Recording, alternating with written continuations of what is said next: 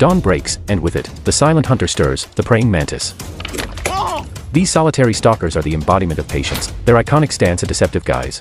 Masters of disguise, they blend seamlessly into their surroundings, a trait vital for survival and predation. Their compound eyes, twin spheres of precision, afford them a near 360-degree vista, a trait few predators can claim. In an instant, the hunt concludes. Their prey, ensnared by limbs quicker than a shutter's click. In the mantis world, females reign supreme. Their size not just a show of strength but a marker of their prowess. Witness the metamorphosis from humble nymph to regal adult, a spectacle of nature's relentless march. Even in the face of danger, they are not defenseless. Their unique ear tuned to the whispers of the night sky, alert to the wing beats of bats.